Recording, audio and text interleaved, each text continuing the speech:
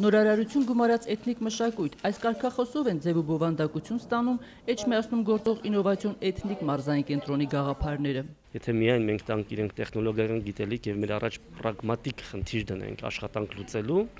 եւ կարեւոր չհամարենք անդրադարձ ազգի անցյալին, մենք ունենանք այո աշխատատեղ, այո կրթություն, բայց մի կարևոր բան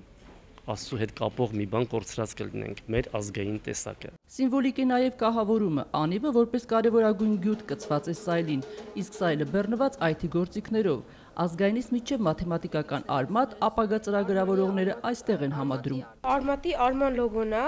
որը մենք պատրաստել ենք Digitech մրցույթի ժամանակ մենք շատ տանջվեցինք դրա վրա, բայց ինչքան կարողացանք ստեղծեցինք։ Թափոններն ու հին տեխնիկան պատանիների ձեռքի տակ երկրորդ կյանք է ստանում, դառնում խաղու ռոբոտ։ Ունենք արդեն հին չօգտագործվող համակարգիչներ եւ ունենք պրինտերներ, որոնք երեխաները մասնատել են եւ նրա մեջից սարքերով պատրաստել ենք նույն նոր ռոբոտներ, Աստրո անունով այս ռոբոտն օրինակ ապագա ծրագրավորողները ստեղծել են լազերային տպիչներից։ Ռոբոտը կծառայի կենցաղում։ Կարող է աղբ մաքրել, ինչպես նաև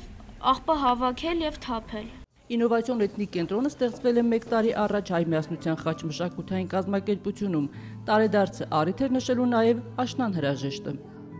Հայկուշ Ասլանյան, Հարություն Սահակյան, օրակարգ։